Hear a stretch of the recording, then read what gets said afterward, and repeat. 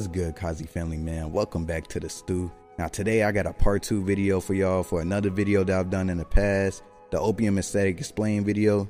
Now this one was one of the first ones I did on this channel, so I can get how people were kind of complaining that I wasn't really doing a good job of explaining it all, going through the steps and whatever bullshit I missed.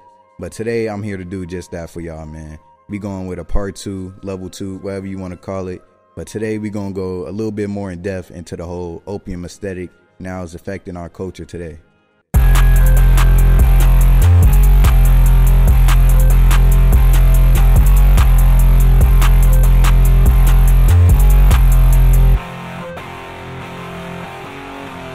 Now, if you haven't heard, the opium aesthetic is essentially seen as like a mix of avant garde with a little bit of a streetwear appeal to it the style was pioneered by previous big names in several spaces, such as rock bands, other rappers, video games, and even skaters. They had similar styles, and it just kind of got, got more broken down the more time progressed into these sub styles. Overall, this sub style was introduced once again to the masses by none other than Playboi Carti and his label mates at Opium. Now, of course, you could say that everybody in the label had a part in making this style popular and known, but the people who really made it kind of a lifestyle or a persona that the fans could take on and partake in were Playboi Carti and Ken Carson.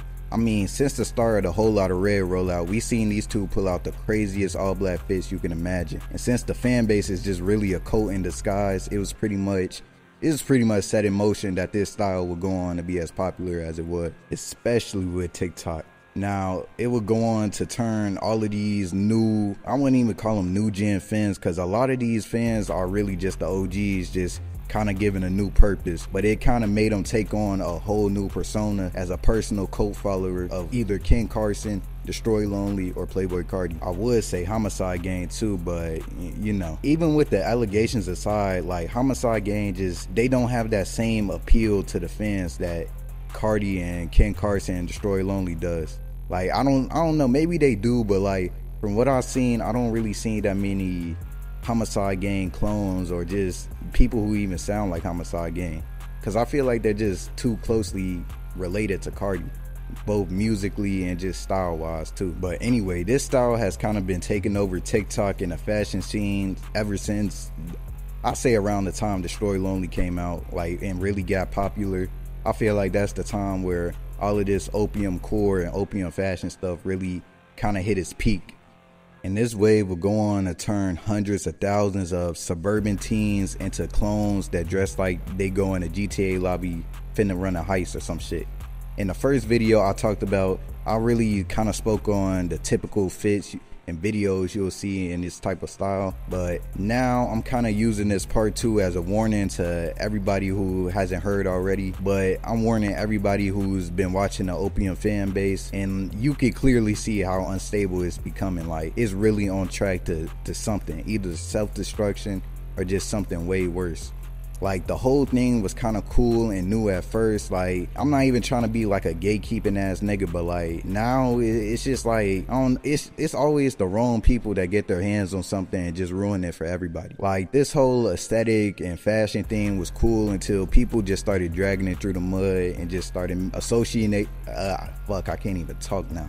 Associating it with like just I don't know corniness and just bad jokes. Cause now like you can't even defend the Opium fan base. You can't even go out and just say proudly that you listen to anybody in Opium without being looked at as a weirdo. And the craziest part is it's not even just Opium fans that gotta endure this. It's just all people who wear all black or any type of fit like that. It's like you just always gonna get associated with Opium, even though you could never you could never listen to a Playboi Carti song in your life. You wear all black once, even just a black t-shirt and some black jeans, niggas gonna call you opium. I swear, it's just like the fans are too upset. Like this lifestyle, this aesthetic, it just got too out of hand. And we we really, it's just time to talk about it, bro. Cause like it's just it's gotten to a point where yeah, like we we just need to fall back or I don't know, something needs to happen.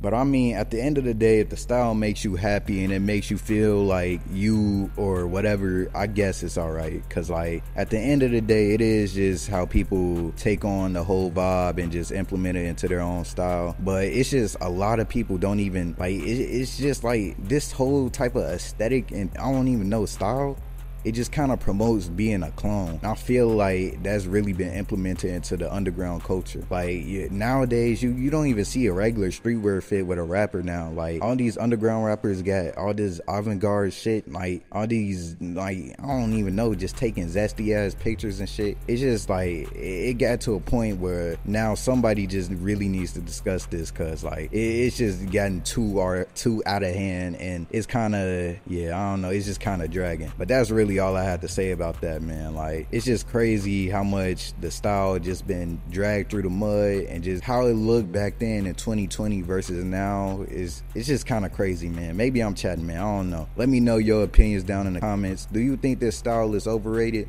Drag through or anything, you feel me? Like just drop it in the comments. I'ma look for it. I'ma reply. I love y'all niggas, man. Thank y'all for over 400 subs. We're almost at 500. Let's keep going. Trying to get monetized on this bitch, but you know, man, nigga just trying to grind. But either way, that's all I really got to speak about this, man. I just wanted to kind of get this off my chest and kind of also do a part two video to the other one since a lot of people kind of where yeah, I don't even know like they they were kind of mad at me for not explaining but like I kind of did to my best abilities. Like it's not really much you can go in depth here like about doing a whole bunch of studies and research to a whole fashion scene you feel me? Like I don't know man maybe I'll go in deeper on the history like what inspired opium in the whole fashion scene but I don't know man maybe maybe. We'll see but until then, man, I'm gonna get up out of here, man. Y'all stay smooth, y'all stay safe, and remember, it's always family forever, man. Peace.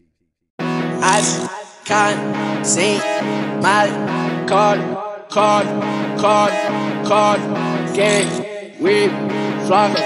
bar, switch, lane,